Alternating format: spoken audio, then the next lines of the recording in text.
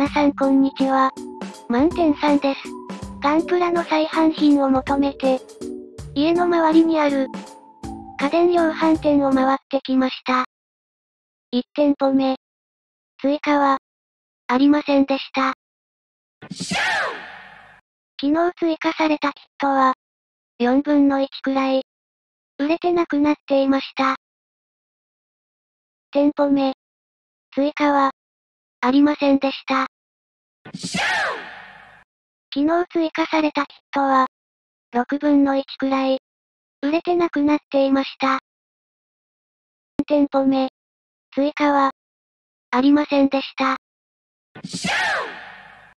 特に変化は、ありませんでした。今日の収穫、特になし。終わり。